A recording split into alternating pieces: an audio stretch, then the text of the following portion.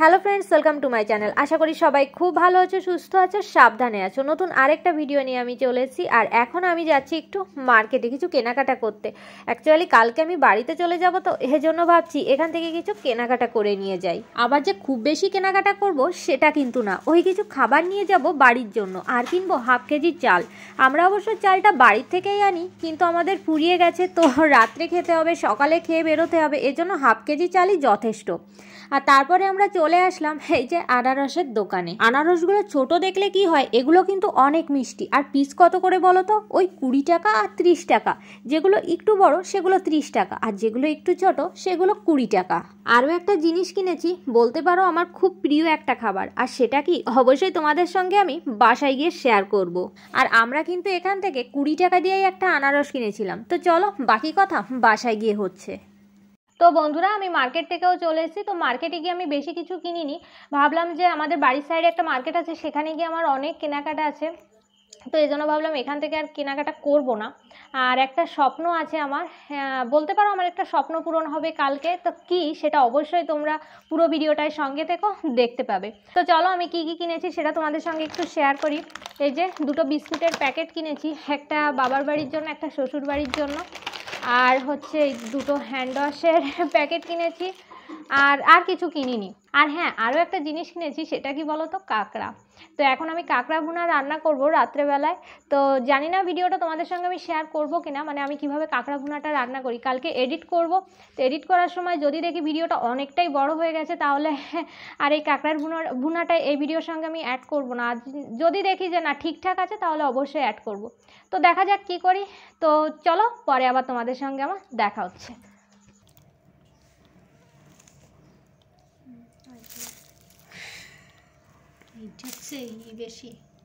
প্রথমে কাঁকড়াগুলো আমি ভাঙার চেষ্টা করছিলাম, কিন্তু একটু ভয় ভয় লাগছিল। তাই ওকে বললাম, তুমি একটু ভেঙে দাও। আর দেখো, এক একটা কাঁকড়ায় কতটা করে গিলু হয়েছে। কাঁকড়ার বোনা খেতে আমার কাছে বেশ লাগে। তবে আরেকটা জিনিস খেতে কিন্তু আরও বেশি ভালো লাগে, সেটা কি বলতো? কাঁকড়া ভর্তা।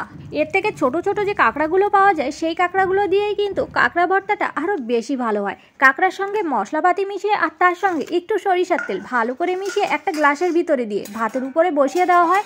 তো ভাত যতক্ষণে হয় কাঁকড়া ভর্তাটাও হয়ে যায়। আর সেটা কিন্তু খেতে কিন্তু বেশ লাগে। তো চলো আজকে তোমাদের সঙ্গে আমি শেয়ার করি, আমি কীভাবে কাঁকড়া ভুনাটা রান্না করি। তো কাঁকড়ার সঙ্গে আমি প্রথমে মশলাগুলো মিশিয়ে নিলাম। এখানে দিয়েছি জিরে বাটা, আদা বাটা আর শুকনো লঙ্কা বাটা। আর দিয়ে দেবো পরিমাণ মতো নুন আর হলুদ। এরপর দিয়ে দেবো হালকা একটু জল আর তেল। আর তারপর ভালো করে মিশিয়ে ওই রেখে দেবো ঘণ্টা খানেকের মতো। আমি এখানে সাদা তেল দিচ্ছি। তবে এটাতে যদি সরিষার তেল দেওয়া হয়, তাহলে কিন্তু খেতে আরও বেশি ভালো লাগে। তবে আমার কাছে সরিষার তেলটা এই মুহূর্তে নেই, তাই আমি সাদা তেলটাই ব্যবহার করছি। এক ঘণ্টা পরে আমি এখন চলে এসেছি কিচেনে আর এখন ভুনাটা রান্না করার জন্য আমি কড়াইতে সাদা তেলও দিয়ে দিয়েছি। এখানেও কিন্তু সরিষার তেল দিলে একটু বেশি ভালো হয়। আর এখন আমি ফোড়নে দিয়ে দেবো গোটা জিরে আর তেজপাতা। আর ওই যে ম্যারিনেট করে যে কাঁকড়াটা রেখেছিলাম, সেটা দিয়ে দেবো।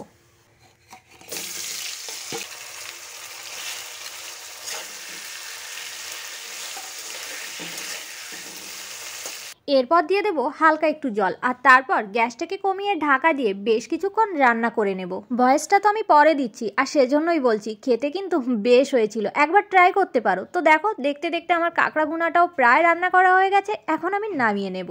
আর দেখতেও কিন্তু বেশ হয়েছে। আর এটা হচ্ছে আমাদের রাতের ডিনার আর সকালের ব্রেকফাস্ট তো চলো তোমাদের সঙ্গে আমার সকালবেলায় দেখা হচ্ছে। Good morning and welcome back to my channel. তো দেখে বুঝতে পারছ আমরা রেডি হয়ে গেছি। ভেবেছিলাম একটু সকাল সকালেই বেরোবো, কিন্তু সকালবেলায় ঘুম থেকে উঠে চুল কেটে মাথা দিয়ে বেরোতে বেরোতে অনেকটাই দেরি হয়ে গেছে। এই যে দেখো, সকালে উঠে আমি চুল কেটেছি, একা একা কেটেছি কিন্তু আমি। তো কেমন লাগছে অবশ্যই কমেন্টস করে জানাবে। তো এখন আমরা বেরোই, পরে তোমাদের সঙ্গে আবারও আমার কথা হচ্ছে, বাসে উঠে।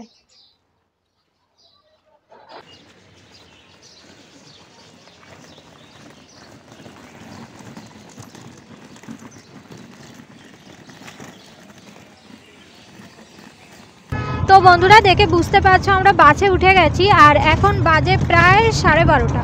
না না, সাড়ে বারোটার বেশি বেজে গেছে, কারণ আমাদের বাসটাই ছিল সাড়ে বারোটায়, আর বাসটাও চলছে।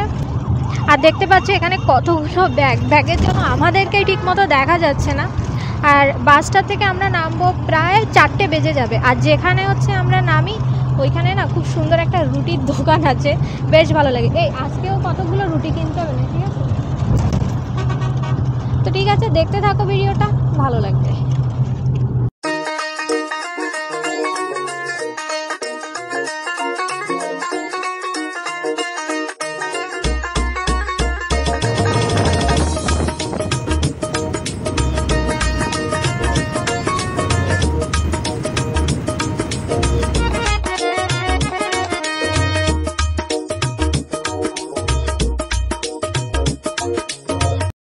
আমরা বাস থেকেও নেমে গেছি, আর এখন ঘড়িতে টাইম প্রায় ওই সাড়ে চারটের মতো, আর এই হচ্ছে সেই রুটির দোকানটা। এখান থেকে রুটি খেতে আমার বেশ লাগে।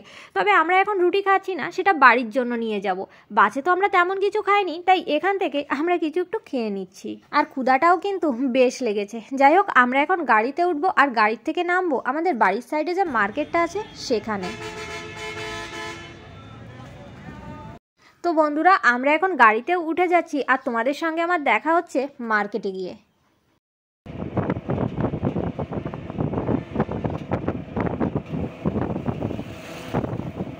আর এখন আমরা মার্কেটেও চলে এসেছি আর এসে সোজা ঢুকে পড়েছি শাড়ির দোকানে। এখান থেকে আমি দুটো শাড়ি নিয়ে যাব। কেন নিচ্ছি, কিসের জন্য নিচ্ছি, সেগুলো অবশ্যই তোমাদের সঙ্গে আমি বাড়িতে গিয়ে শেয়ার করব। আর শাড়ির দোকানে ঢুকলে না, কোনটা নেব কোনটা নেব না, বাঁচতে একটু কষ্ট হয়ে যায়।